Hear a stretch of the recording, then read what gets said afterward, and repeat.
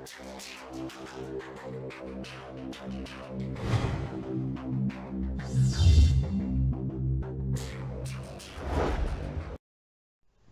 guys, today I'll show you how I made the permanent uh, nails for BJD. Um, the, all the materials you need uh, in the description bar. So I start with um, uh, using like a um, Blu Tack you can use or anything like that and just put it under the nail so I can build uh, the gel up on the top. And every every single application I cure it under the UV lamp literally maybe like 10 seconds or something like that.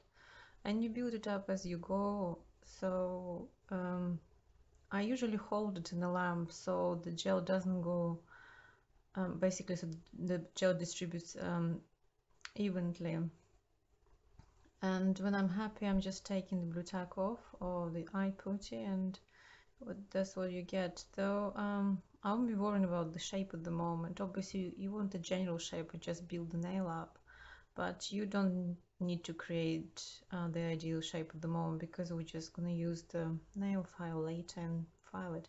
People who know the nail art probably they're familiar with, with this process, but I'm not into nail art and uh, kind of have to improvise. So if I do something wrong, um, well, you're more than welcome to tell me but I mean it does work for the dolls so that's what I really worried about.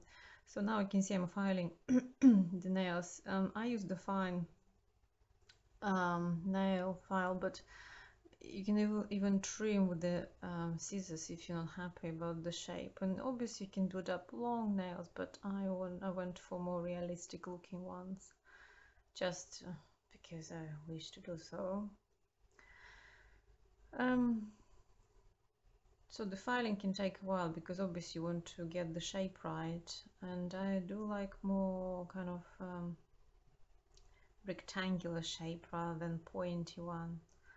So then after I've done that I just applied white to the uh, base of the nail just get it more kind of realistic looking nail as well again and wipe an excess and then I'm gonna apply the same white to the tip of the nail because I'm creating the French manicure.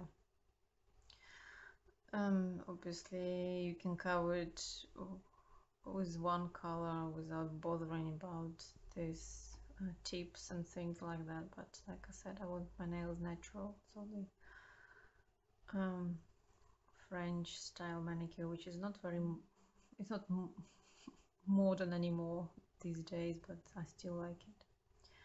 And now I'm mixing just ordinary gloss with acrylic paint so to make it more translucent looking um, nail um, like you would normally do with a French manicure anyway. Like I said I usually normal, uh, use normal acrylic one uh, and I don't use the shellac or anything like that because I'm gonna once it's all dry I'm just gonna use the top coat uh, this is the top coat um, covered with it and cure it for another probably I don't know 10 minutes I'll give it in the lamp. So that's the finished product. And if they're sticky I would advise you to use the rubbing alcohol to remove that residual thing. That's all. Thank you for watching. Bye